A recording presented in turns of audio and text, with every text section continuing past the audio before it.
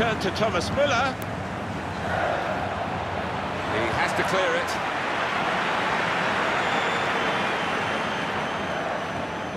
Made the challenge well.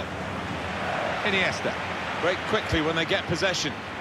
Spain who benefit from the advantage rule. Alvaro Morata. Well, that's an absolutely stunning strike. I cannot believe he took that on, Martin. It's